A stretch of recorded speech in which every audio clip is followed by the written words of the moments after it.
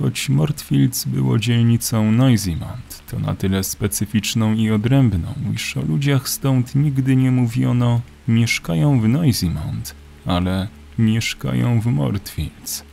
O stanowiącej swoistą eksklawę świata mroku i bezprawia Mortfields żartowano, że panowała tu taka bieda, iż nie było nawet co kraść, a wieczorny spacer na tym terenie traktowano niczym akt odwagi graniczącej z głupotą. To właśnie tu, na ziemi czarnej niczym popiół upadłej cywilizacji, pośród niebezpiecznie wyglądających spacistych dachów zamieszkała Emma Hamilton. Samotna młoda panna nie miała wielkiego wyboru, gdy siedem lat temu opuściła sierociniec z racji osiągnięcia pełnoletności. Jak na ironię, pomimo otaczającej jej mieszkanie brzydoty i brudu, malowała kolorowe pejzaże. Obrazy te stanowiły chyba jedyną jasną i radosną rzecz, jaką można było znaleźć na całej dzielnicy. Za zakrętu wyłonił się niebieski tułów autobusu, chlapując buty zmierzającej w stronę owego mieszkania Elizabeth Doyne. Zabierając ze sobą pół godziny temu parasol, starsza kobieta nie myślała, że deszcz może ją uderzyć poniżej pasa. Zaraz potem, tym razem w nozdrza uderzył piekarniany zapach, istny młot na anoreksję. Obraz świeżych bułek okazał się miłą odskocznią od posępnych myśli. Te jednak znów się pojawiały na widok mijanych osób. Kobieta starała się nie patrzeć przechodniom w oczy, jak gdyby jej wzrok zdradzał innym jej kruchość i bezbronność.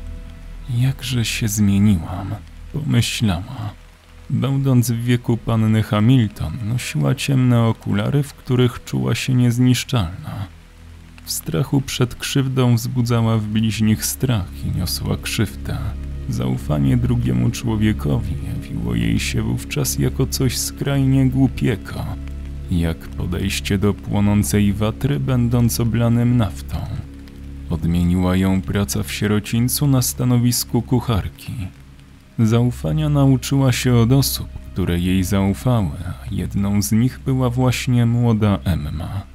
Chciała dla dziewczyny zrobić coś więcej niż tylko to, co do niej należało z racji wykonywanego zawodu. Wiedziała, że nie zastąpi jej matki, która zmarła, gdy Emma miała zaledwie trzy latka.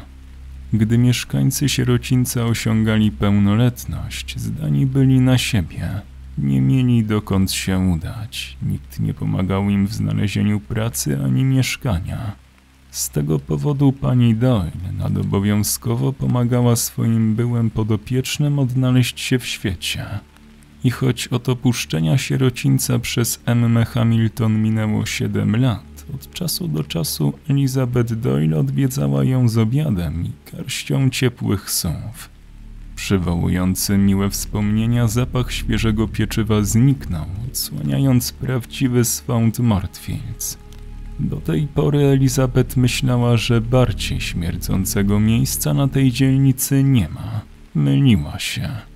W wyobraźni przebiegły jej pod nogami setki szczurów, a z zaparkowanego niedbale samochodu dał się słyszeć gangsterski rap, jakby ostrzegając kucharkę, że oto wkracza w strefę szczególnego zagrożenia. Jeszcze kawałek i będę u Emmy. Dodała sobie otuchę. To tutaj kłębiły się w ścisku kumulusy przeżyć osadzonych w splot kamienic, niewidzialnie obok siebie mieszkańców, żyjących, jak sobie to wyobrażała pani Doyle, w ciągłym napięciu. Chodnik rozświetlał niekiedy blask telewizorów z za okien, acz nie wiadomo jak niebezpieczne tajnie skrywały w sobie te szarobure domostwa nadszarpane pazurem ruinacji. W końcu udało jej się przejść przesuw ponikon. Odetchnąwszy z ulką, ruszyła schodami na piętro bloku. Ku jej zdziwieniu drzwi do mieszkania były lekko uchylone. Uchyliła je zatem bardziej. Po chwili, usłyszanym tylko w swojej głowie krzyku, wybiegła z powrotem na zewnątrz i ignorując wcześniejsze niepokoje, poczęła wołać o pomoc. Przechodnie natychmiast zwrócili na nią uwagę, lecz po usłyszeniu słowa policja zaraz kontynuowali przemieszczanie się, może nawet szybciej aniżeli przed chwilą. Kucharce przypomniały się słowa koleżanki z pracy. Powiedziała ona, że Mortwiec jest miejscem zapomnianym przez Boka. Elizabeth Doyle snuła jednak inną tezę. Było to miejsce, w którym to ludzie zapomnieli o Boku. Kapitan policji Henry Bolbao leżał w szpitalnym łóżku i nie wiedział co robić. Spać mu się nie chciało, a zresztą i tak nie mógł, i to z dwóch powodów. Po pierwsze, paliła go rana postrzałowa, jaką obdarował go dzień wcześniej ścigany kryminalista w balaklawie. Po drugie, tuż za ścianą słychać było chrapliwy głos pielęgniarki. Kapitanowi nie wolno przeszkadzać, musi odpoczywać. Dochodziło do jego uszu. Świadomość, że ktoś go odwiedził, dodała mu wigoru. Proszę wejść, czuję się dobrze. Zawołał, ustawiając poduszkę tak, by móc odpoczywać w pozycji półleżącej. Możecie panowie wejść, ale na krótko. Usłyszał z za ściany. W pokoju pojawili się Ebenezer Raffin i Jeremy High. Bardzo zadziorna pielęgniarka, lubię takie. Skomentował pierwszy gość. Ale ona chyba cię nie lubi, mistrzu. Oznajmił czarnoskóry młodzieniec. Kapitan się uśmiechnął. A kto by chciał, żeby po jego oddziale chodził grabarz? To po mnie aż tak to widać? Zapytał Rafin z nieskrywaną dumą. Może na mój widok ludzie przypominają sobie, że umrą. To świetna sprawa. Dzięki temu może pomyślą o rzeczach, które są ważne i się nawrócą.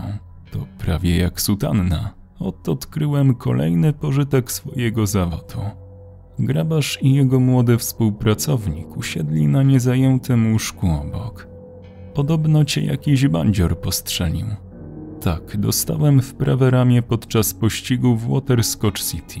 Dwóch facetów próbowało napaść na bank. Dorwaliśmy ich z Arnoldem. Boli? spytał Jeremy.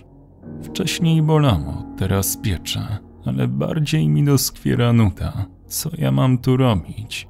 Leżeć i wyświetlać na suficie wspomnienia z dzieciństwa? Ale skończmy już gadać o mnie. Mów, Rafin, co tam u ciebie? Kogo ostatnio chowałeś?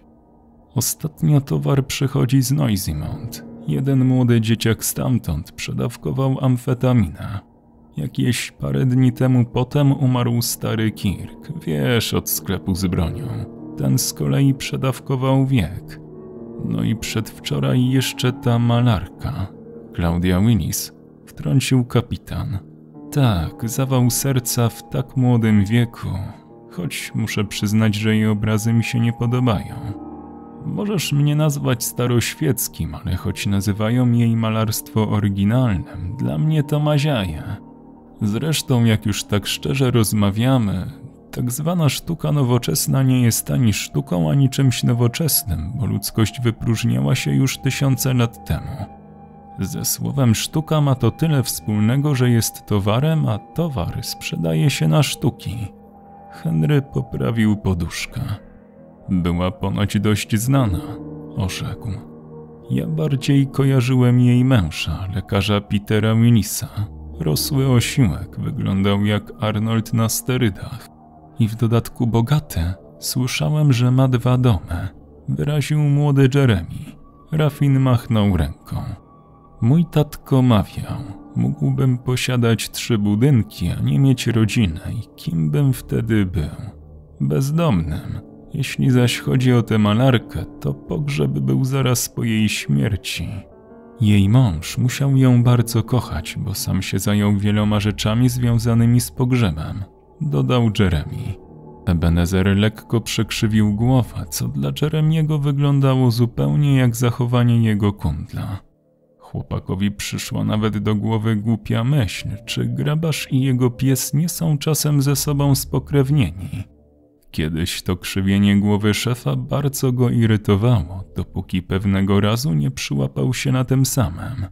Samo zwierzę też chyba nabierało nawyków od grabarza, albowiem coraz częściej zakopywało coś w ziemi. Człowieka tak zaangażowanego w pochówek własnej żony jeszcze nie widziałem, jakby chciał się upewnić, że zostanie pogrzebana. Już dzisiaj sprzedaje obrazy małżonki na specjalnej aukcji i ma zamiar wyjechać za granicę, podobno z jakąś kobietą. Widziano, Rafin przerwał, bo za ściany słychać było znowu chrapliwy głos pielęgniarki. Pani męża już ktoś odwiedza. Kapitan potrzebuje ciszy i spokoju. Proszę nie wchodzić wszyscy naraz i nie zabierać mu powietrza. Proszę usiąść i poczekać, aż reszta wyjdzie. Edna z dziećmi oznajmił Bolbao. To może wyjdziemy. Rzucił Ebenezer i pociągnął Jeremiego za rękaw. Chodź, porozmawiamy sobie z panią pielęgniarką. Może nas polubi. Prędzej czy później i tak pewnie będzie musiała skorzystać z naszych usług. Nagle jednak znów podniosły się głosy z za ściany, a w progu pomieszczenia pojawił się sierżant Arnold Sailor z miniaturową teczką w ręku. To znaczy, teczka była normalnych rozmiarów, po prostu w ręku sierżanta Arnolda wszystko wyglądało miniaturowo.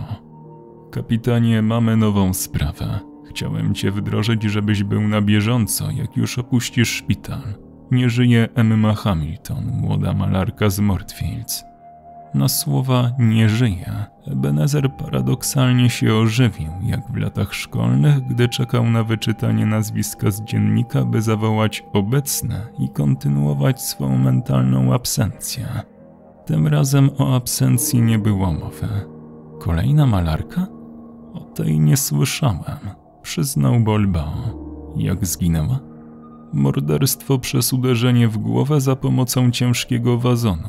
Trudno powiedzieć, czy było motywowane chęcią rabunku, bo ofiara mieszkała sama. Nie wiemy zatem, czy czegoś brakuje.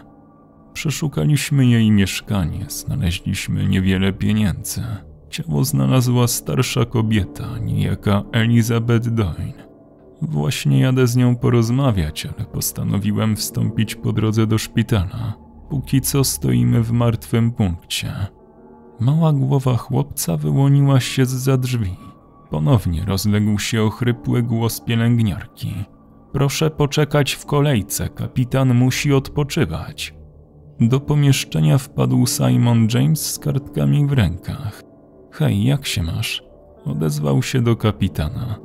Napisałem kolejne opowiadanie i przerwały mu podniesione głosy Edny Bolbao i pielęgniarki. Przepraszam bardzo, ale jako żona pacjenta mam chyba pierwszeństwo przed innymi odwiedzającymi, prawda? Po chwili w szpitalnym pokoju obecnych było już dziewięć osób, bowiem dołączyły obie kobiety oraz mały John i Sara, dzieci kapitana. Proszę natychmiast stąd wyjść, zaskrzeczała pielęgniarka. Wszyscy! Ja jestem tutaj służbowo. Zaczął sierżant, ale rozległ się krzyk pielęgniarki. Powiedziałam coś. Jeremy ruszył do wyjścia jako pierwszy. Mistrzu, lepiej wyjdźmy. Widziałem, jakie ta pani ma igłę. Ku zaskoczeniu wszystkich, jako drugi ruszył się Bolbao. Wstał i zaczął zabierać rzeczy z szafki. Henry, co ty robisz? Zapytała żona. Wychodzę. Panie Bolbao, mówiąc wszyscy, nie miałam na myśli pana.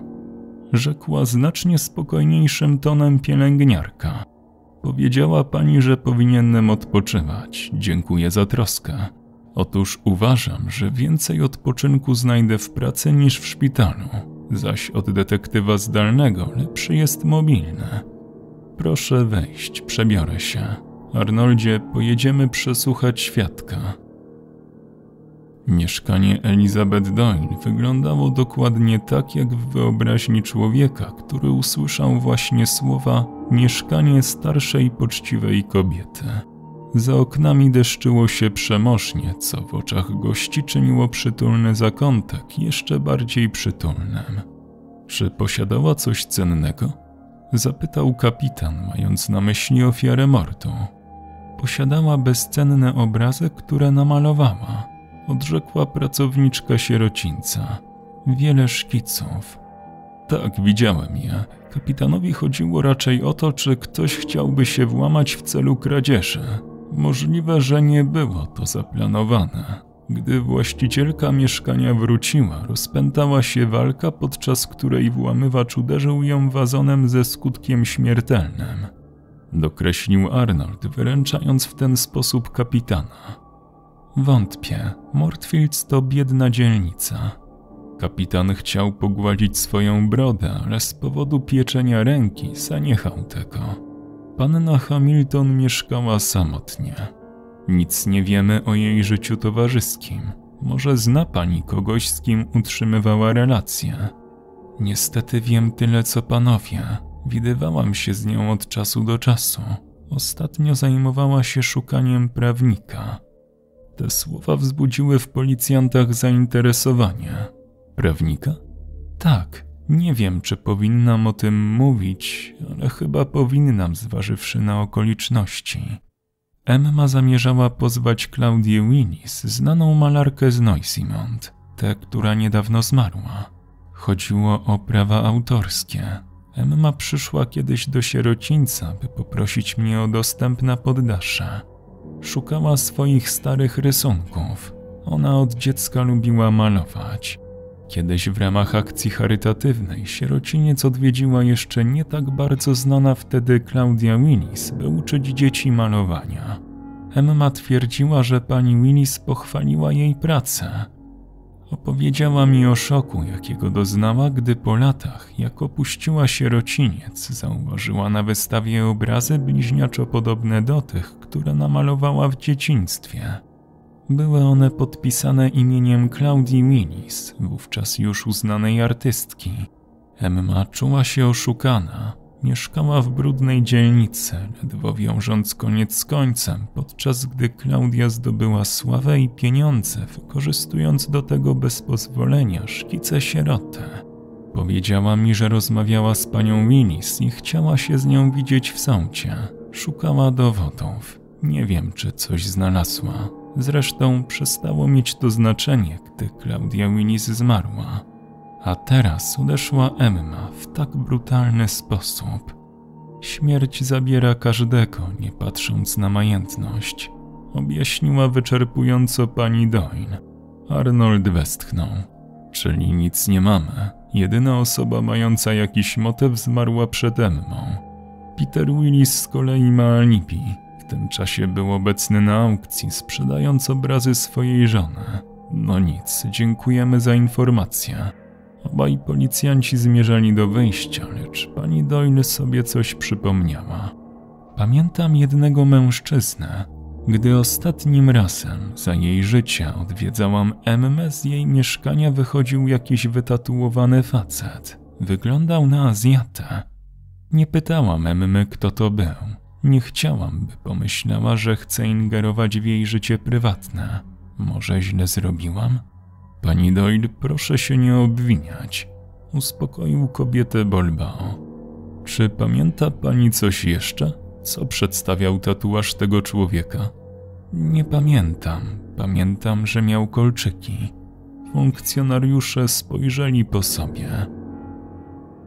Arnold na widok skośnookiego faceta w skórzanej kurtce wyraźnie się uśmiechnął. Dzień dobry, pamiętasz skład dzidy bojowej? Na twarzy ochroniarza wystąpiło coś w rodzaju lekkiego przerażenia. Nic nie mówcie, możecie wejść. Powiedział pospiesznie, nie przestając robić wielkich oczu. Wielkie dzięki z prawej ręki. Odparł na to kapitan i zapiekło go ramię. W obskurnym mieszkanku funkcjonariuszy czekała kolejna znana twarz. Młody mężczyzna o wyglądzie podrzędnego gangstera z podwięziennej celi, ubrany w fartuch, rozsypywał na blat biały proszek. Ujrzawszy policjantów, odruchowo podniósł nieco ręce. Spokojnie, to tylko mąka, oświadczył. Czao Zenk, znowu się widzimy i nadal masz syf w domu przywitał się sierżant Sainor. Zenk nie pozostał mu duszny. Panowie policjanci, znowu się widzimy i nadal szukacie w złym miejscu. Dobrze, że nie mam marihuany, bo wszystko wylądowałoby w waszej kieszeni. Widzę, że wciąż nosisz kolczyki. Masz może również jakiś tatuaż? Kontynuował Arnold. Ani jedno, ani drugie nie jest nielegalne. Żeby obejrzeć moje ciało, będziesz musiał załatwić sobie nakaz rewizji. Inaczej nie dowiesz się, czy nie wydzierałem sobie gdzieś twojej matki. Bolba ochrząknął. Widziano cię u M. Hamilton, mamy świadka. Zenk wzruszył ramionami. Nie zaprzeczam, byłem u niej dwa razy w interesach. Policjanci patrzyli na niego, a on patrzył na policjantów.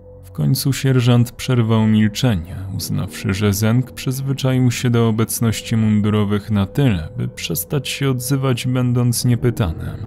W jakich interesach? Chyba nie sprzedawałeś jej mąki. Pożyczyłem jej kiedyś nieco pieniążków, potem chciałem zwrotu. Oddała mi z odsetkami. Koniec historii. Kapitan tymczasem skończył rozglądać się po pomieszczeniu. Ładny obraz. Zauważę. Skąd go masz? Zenk podrapał się po głowie, mając minę przyłapanego na czymś dziecka. Miał teraz trochę mąki we włosach. Powiem wam, ale nie mówcie nikomu z moich klientów, ok? Znają mnie z powiedzenia, że mała garza mnie obrasza. Brakowało jej trochę do spłaty. To była taka miła dziewczyna, zupełnie jakby spoza Mortfields. Przymknąłem na to oko i wziąłem obraz. Ładnie maluje, nie?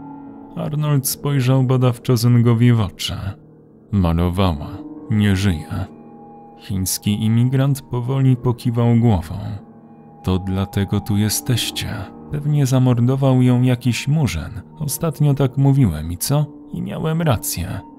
Jeżeli nie masz pod ręką fotki z fotoradaru zrobionej w czasie zgonu Emmy Hamilton, to może być niewesoło. Oznajmił Arnold, nawiązując do sprawy sprzed ponad trzech miesięcy. O której godzinie mowa? Między dwunastą a trzynastą. Zenk się uśmiechnął. Pokażę wam coś. Zrobił ruch ręką, sugerując, by policjanci podążyli za nim. Pokoik sypialny wyglądał jeszcze gorzej niż reszta. Momencik.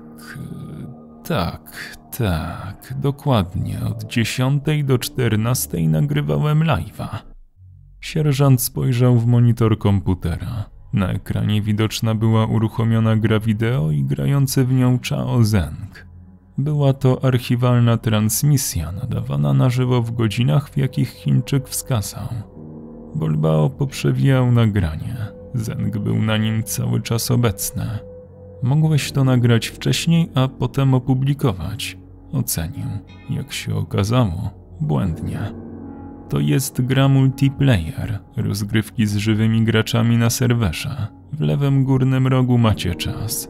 Mecze rozgrywane są jak we sporcie, tego nie da się oszukać. Posłuchajcie sobie, rozmawiałem z innymi graczami na czacie głosowym. Inni też to nagrywali. Sierżant Sailor i kapitan Bolbao nie wiedzieli, co na to odpowiedzieć. Jeremy zbił pionka wieżą, jak mu poradził siedzący obok Rafin.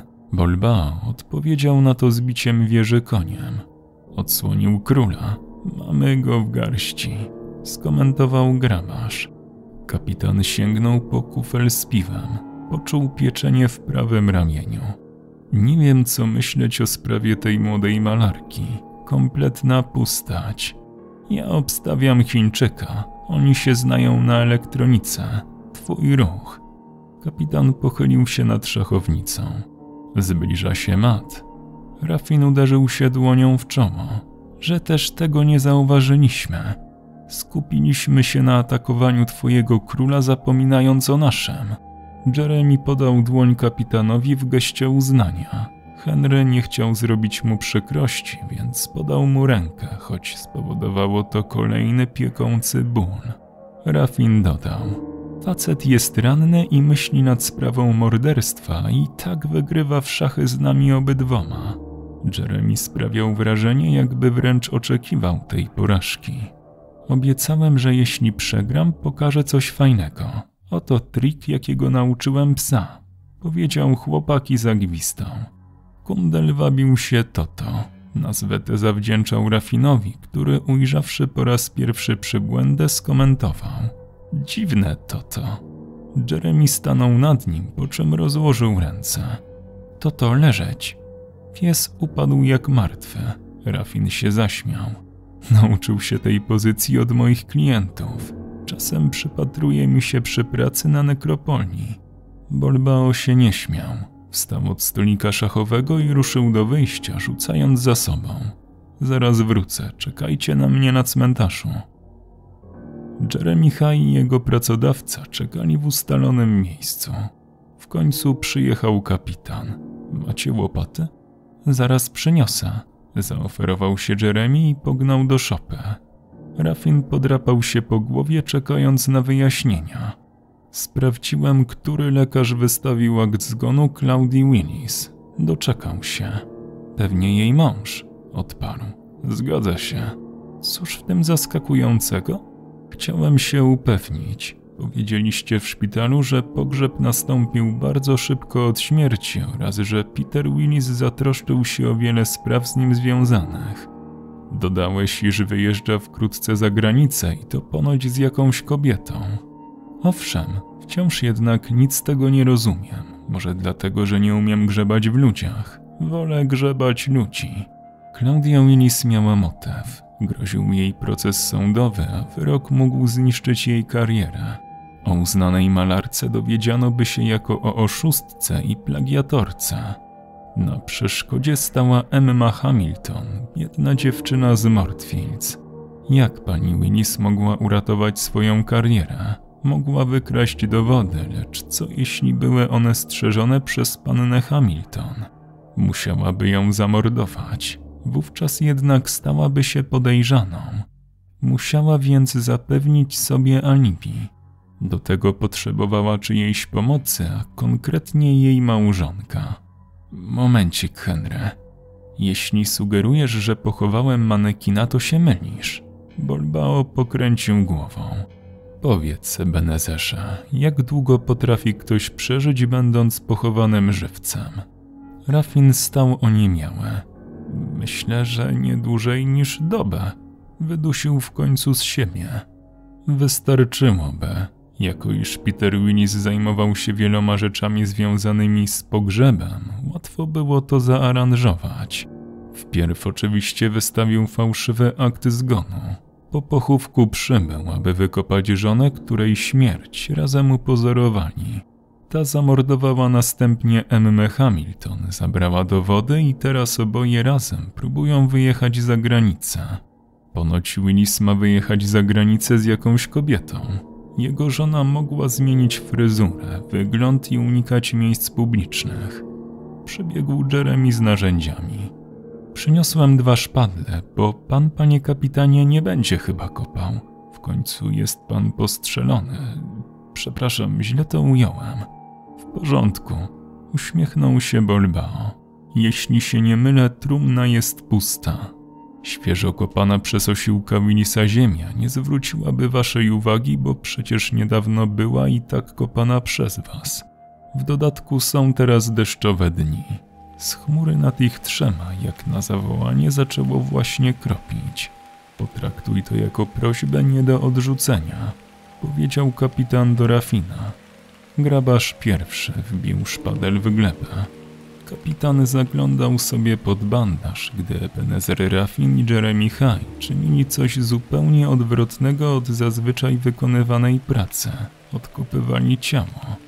Wszystkiemu przyglądał się Toto, przed nią usiadłszy przy policjancie.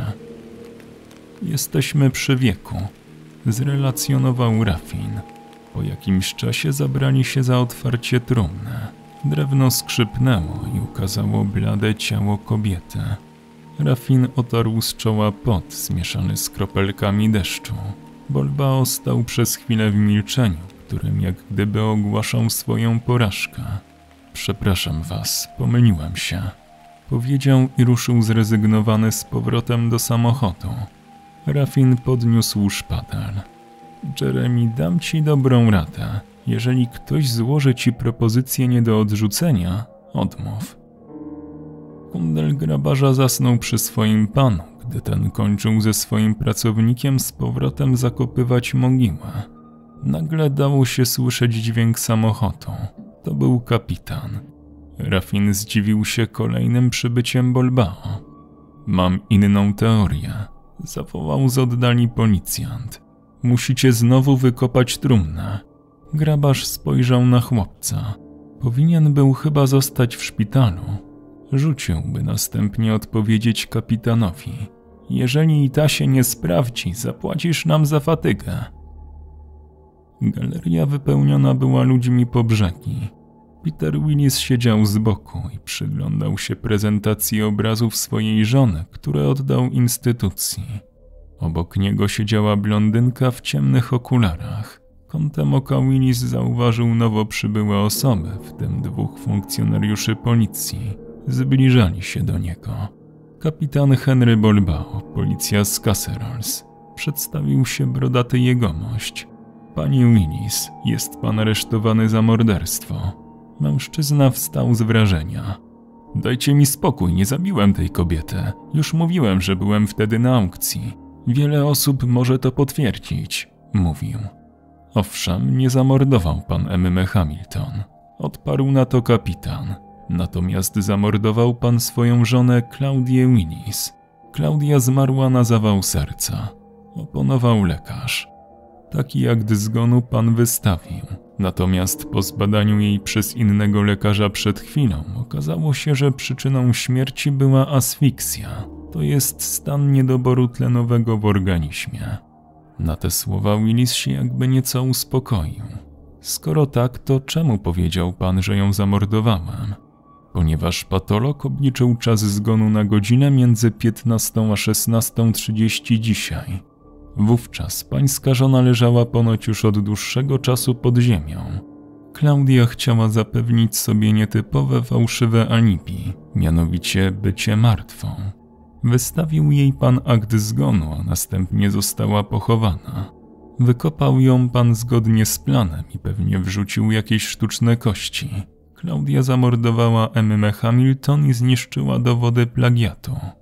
Wolała najwyraźniej zostać uznana za zmarłą niż za plagiatorkę. Według planu miała zmienić swój wygląd i razem mieliście wyjechać za granicę. Tutaj jednak nastąpiło coś, czego pańska żona się nie spodziewała. Skoro była już uznana za zmarłą, pomyślał pan, że jej zamordowanie ujdzie panu na sucho. Udusił pan ją, a następnie z powrotem zakopał. Spodziewał się pan, że będziemy badać tę sprawę, zwłaszcza, że policja już z panem wcześniej rozmawiała. Gdybyśmy w odkopanym dziś grobie znaleźli kości, i to w dodatku sztuczne, natychmiast połączylibyśmy fakty. Dlatego też pańska żona została zakopana dwukrotnie. Pierwszy raz żywcem, drugi raz będąc martwą. Pan tymczasem sprzedał jej obrazy i wraz z kochanką. Tu kapitan zerknął na siedzącą obok blondynkę w ciemnych okularach. Chcieliście wyjechać za granicę Dowodem natomiast są pańskie odciski palców na szyi ofiary. Willis obejrzał się wokół siebie, ale nie miał jak uciec. Sierżancie kajdanki.